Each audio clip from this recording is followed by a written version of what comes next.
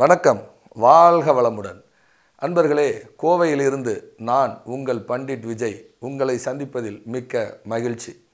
நிறைய ஜோதிடம் சார்ந்த சித்தாந்தங்களை நாம் பதிவிட்டு கொண்டு வருகிறோம். புதுசு புதுசாக பரிகாரங்கள் வித்தியாசமான முறைகளில் சொல்லிக்கிட்டு வர்றோம். இப்போ இந்த ரெண்டாயிரத்தி பத்தொம்போது அந்த டிசம்பர் மாதம் வரக்கூடிய வாக்கிய பஞ்சாங்கத்தின் அடிப்படையில் டிசம்பர் மாதம் வரக்கூடிய சனி பயிற்சிக்கு இந்த சனி பகவானுடைய பயிற்சிக்கு எப்படி பரிகாரம் என்ன மாதிரி செஞ்சால் அவங்களுக்கு நன்மையை தரும் அப்படிங்கிறதுக்கான ஒரு பரிகாரத்தை நாம் விரிவாக பார்க்க போகிறோம் பொதுவாக ஒரு பாவகத்துக்கு பதினொன்றாம் பாவகம் வெற்றியை தரும். பொதுவாக ஒரு பாவகத்துக்கு பதினொன்றாம் பாவகம் வெற்றியை தரும். அப்போ மேசராசிக்கு பதினொன்றாம் பாவகம்ங்கிறது வெற்றியை தரக்கூடியது. அது பாதக வீடாக இருந்தால் கூட அது பாதக வீடாக இருந்தால் கூட அவர் தான் வெற்றிக்கு அதிபதி. ஸோ இந்த கும்பத்துக்குள்ள கும்பத்துக்கான ஊர் எது? இந்த கும்பராசிக்கான கோயில்கள் எது? அப்படிங்கிறத முண்டேன் அஸ்ட்ராலஜி அப்படிங்கிற முறையை வச்சு பயன்படுத்தி இப்போ பரிகாரம் சொல்கிறோம் அதாவது மேசராசிக்கு பதினொன்றாம் இடங்கிறது லாப வீடு வெற்றி ஸ்தானம். இந்த வீட்டுக்கான இந்த ராசி மண்டலத்துக்கான ஊர்கள் எது அப்படிங்கிறத கண்டுபிடிச்சி அதற்குள்ள என்னென்ன கோயில்கள்லாம் பிரசித்தி பெற்ற கோயில்கள் இருக்குது இதில் இருக்க மேசத்தில் இருக்க அந்த மூணு நட்சத்திரத்துக்கும் எது சாதகம் அப்படிங்கிறத பார்த்து எங்களுடைய முண்டையன் அஸ்ட்ராலஜியை பயன்படுத்தி அதாவது பிரபஞ்ச ஜோதிடம் அப்படிங்கிறத பயன்படுத்தி உங்களுக்கு பரிகாரம் கொடுக்குறோம். சரி அப்போ இந்த மேஷத்துக்கு பதினொன்றாம் பாவகம் அப்படிங்கிறது என்ன அப்படின்னு கேட்டிங்கன்னா கும்பம். இந்த கும்ப வீடு என்னன்னு கேட்டிங்கன்னா தருமபுரி மாவட்டம் வரும் திருச்சி மாவட்டம் வரும் நாமக்கல் மாவட்டம் வரும். குடந்தை கும்பகோணமும் இதில் வரும். ஸோ இந்த இதுக்கான இடங்களில் இந்த ஒவ்வொரு நட்சத்திரத்துக்கான கோயிலை செலக்ட் பண்ணி கொடுக்குறோம். இப்போ முதல்ல அஸ்வினி நட்சத்திரம். அவங்க இந்த சனிப்பெயர்ச்சி அவங்களுக்கு தொழில் வளத்தையும் பொருளாதார மேம்பாடையும் அடைவதற்கு அஸ்வினி நட்சத்திர அன்பர்கள் மேசராசி அஸ்வினி நட்சத்திர அன்பர்கள் நாமக்கல் ஆஞ்சநேயர் அவரை சென்று தரிசனம் செய்து வர சுப நிகழ்வு ஏற்படும். அதே மாதிரி பரணி நட்சத்திர அன்பர்கள் திருவண்ணாமலைக்கு பக்கத்தில் ஆதி திருவரங்கம் அப்படிங்கிற ஊரில் இருக்கக்கூடிய நவ பாஷான ரங்கநாதரை நீங்கள் பார்த்தீங்கன்னா உங்களுக்கு தோஷங்கள் விலகி இந்த சனி பகவானுடைய தோஷங்கள் விலகி நல்ல ஒரு வெற்றி ஸ்தானமாக உங்களுடைய வாழ்க்கை மாறும். அதே மாதிரி இந்த கிருத்திய நட்சத்திரத்தில் பிறந்தவங்க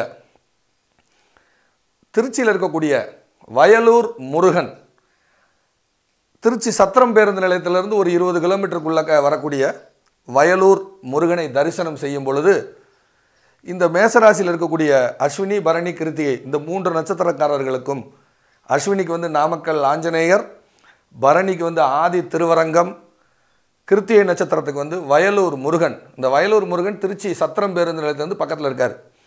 ஆதி திருவரங்கம் வந்து பார்த்திங்கன்னா நம்ம திருவண்ணாமலை அங்கேருந்து ஒரு முப்பது கிலோமீட்டர் முப்பத்தஞ்சு கிலோமீட்டர் தூரத்தில் ஆதி திருவரங்கம். ஊர் பேரே ஆதி ஆதி திருவரங்கம். அஸ்வினி நட்சத்திரத்துக்கு நாமக்கல் ஆஞ்சநேயர் வழிபாடு மிக சிறப்பை தரும். சரி இந்த மகர வீட்டுக்குள்ள இந்த மகர ராசிக்குள்ள இப்போ சனி பகவான் டிசம்பர் மாதத்துக்கு பிறகு உள்ளே வரப்போகிறார் இதற்குள்ள கேது பகவானோ ராகு பகவானோ இருந்தா என்ன சொல்யூஷன் அப்படின்னு கேட்டிங்கன்னா இந்த மகர ராசிக்குள்ளக்க உள்ள ச கேது இருக்கார். அவங்க பிறந்த கால ஜாதகத்தில் அவர் அவர்களுடைய பிறந்த கால ஜாதகத்தில் இந்த இடத்துல கேது இருந்தா அவங்க என்ன செய்யணும் அப்படின்னா மகரங்கிறது மெட்டல் வீடு. அதாவது நிகழ்கால சனி இப்போ தனுசுலேருந்து அதாவது கோச்சார சனி அதாவது கோச்சார சனி பகவான் தனுசு ராசியிலேருந்து டிசம்பர் மாதம் மகரத்துக்குள்ளே வரப்போகிறார் மகர ராசியில் அவங்களுடைய பிறந்தகால ஜாதகத்தில் உள்ள கேது பகவான் இருந்தாருன்னு வைங்க. இந்த மகரம் வந்து மெட்டல் வீடு. மகரங்கிறது மெட்டல் வீடுன்னு நாங்கள் சொல்லுவோம். தொழில் எடுக்கிறதுக்கு அதை பயன்படுத்துவோம். அப்போ கையில் மெட்டலை வச்சுருக்கக்கூடிய கையில் மெட்டலை வச்சுருக்கக்கூடிய கேதுங்கிறது சித்தர். ஒரு சித்தர் நமக்கு வேணும். அப்போ கையில் மெட்டலை வச்சுருக்கக்கூடியவர் யார் அப்படின்னு கேட்டிங்கன்னா இதுக்குள்ளே அவிட்டம் இருக்குது ஸோ உஷ்ணத்தை சொல்லக்கூடிய அவிட்டம்ங்கிறது நெருப்பு. அப்போ உஷ்ணத்தை சொல்லக்கூடிய சூட்டுக்கோள் ராமலிங்கம் ஜீவசமாதி. இது எங்கே இருக்குன்னா திருவாரூரில் இருக்குது இந்த ஜாதக அதாவது மேசராசி அன்பர்களுக்கு அவர்களுடைய பிறந்தகால ஜாதகத்தில் மகர வீட்டில் பிறந்தகால கேது இருக்கும் பொழுது அந்த கேது பகவான் மேலே சனி பகவான் வரப்போகிறாரு அப்போ கேதுங்கிறது ஒரு சித்தர். அப்போ இந்த மகரங்கிறது மெட்டல். ஓ சித்தர் கையில் ஒரு மெட்டல் இருக்கணும். அதுக்குள்ளே அவிட்ட நட்சத்திரம் இருக்குது திருவோண நட்சத்திரம் இருக்குது உத்திராட சூரியனுடைய நட்சத்திரம் இருக்குது சூரியன் தான் சித்தர் யோகி. கேதுங்கிறது முற்றும் திறந்தவர் அப்படின்னு அர்த்தம். எதுவும் வேண்டாம் என்ற நிலை வேண்டும் இறைவா என்று வாழக்கூடியவர்கள். ஸோ அதுக்குள்ளக்க சனி பகவானும் கேது பகவானும் சஞ்சாரிக்க போகிறாங்க மகர மகரத்தில் கேது இருந்தால் மேசராசிக்கு பத்தில். அப்போ சனி கேதுங்கிறது ஒரு துறவு நிலையை சொல்லக்கூடியது. மகரம் மெட்டல் வீடு. மெட்டல் வீடு. அப்போ சூட்டுக்கோள் ராமலிங்கம் அப்படின்னு சொல்லக்கூடிய ஜி- சித்தருடைய ஜீவ சமாதி திருவாரூரில் இருக்கிறது. அங்கே ஒரு முறை அவங்க போகும் பொழுது தொழில் தடை நீங்கி வெற்றி கிடைக்கும். இது அவர்களுக்கான பரிகாரம். அதே போல் இந்த இடத்துல ராகு இருந்தா இங்கே ராகு இருக்காருன்னு வச்சுக்கோங்களேன். அப்போ ராகு இருக்கும் பொழுது நம்ம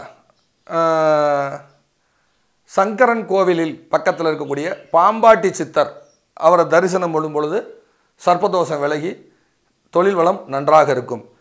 ஆக மொத்தம் மேசராசி அன்பர்களுக்கு அதில் இருக்கக்கூடிய அஸ்வினி பரணி கிருத்தியை மூன்று நட்சத்திரத்துக்கும் நம்ம பரிகாரம் சொல்லிட்டோம். இந்த இடங்களுக்கு போகும் பொழுது மிகப்பெரிய அவங்களுக்கு வளர்ச்சி வெற்றி நிச்சயம். இது அவங்களுக்கு நல்ல ஒரு அற்புதமான காலம். ஏற்கனவே மேசராசி கடந்த காலத்தில் நிறைய துன்பங்களில் இருந்தாங்க. அந்த துன்பத்திலேருந்து விடுதலையாகி இனிமேல் நல்ல நிலைக்கு வருவாங்க. அதற்கான சொல்யூஷனுக்கான இந்த பரிகாரம். மீண்டும் நல்ல ஒரு சூழலில் சந்திக்க விரும்பும் நான் உங்கள் பண்டிட் விஜய். வணக்கம். வாழ்க வளமுடன். வாழ்க வளமுடன்.